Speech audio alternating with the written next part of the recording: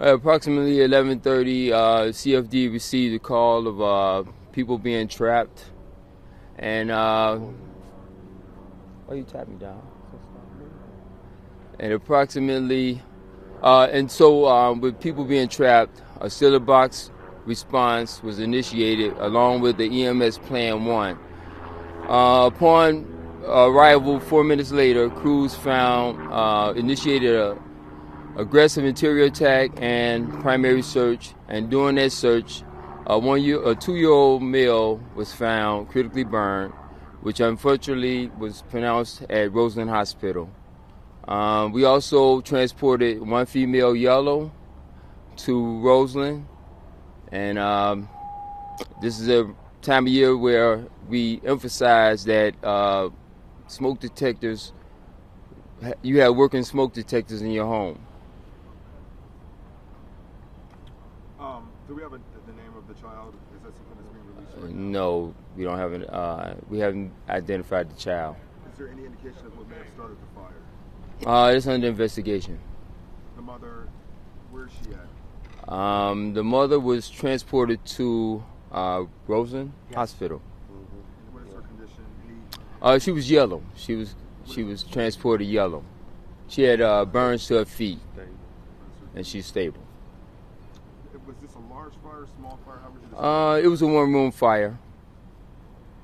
What lesson is there to be learned from this, sir? Uh, to have working smoke detectors in your home. Seems like you guys say that year after year, and this. What is, what is the problem? Uh, well, uh, unfortunately, that's one of the things that uh, people don't think it. They don't take it seriously. They don't take it seriously. So you know, some people learn, live and learn, and have working smoke detectors, and others don't. Were there any other injuries inside of the home? Uh, no, just the two that we had transported. There were other victims, but they were uh, signed documented refusals. What does that mean? Documented refusal means that they uh, refuse uh, medical service. So how many people were inside of the home total? Uh, three females and one child.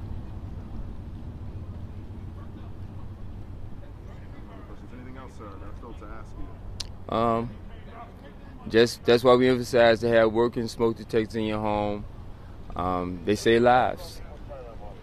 You know, it's, it's getting old that we have to keep repeating the same message, but they do save lives. They give you that early warning, and um, it helps. For those who may not can afford a smoke detector, you guys offer them? Like, where they go to Uh, they well, we give them out at the firehouse. Uh, we have um,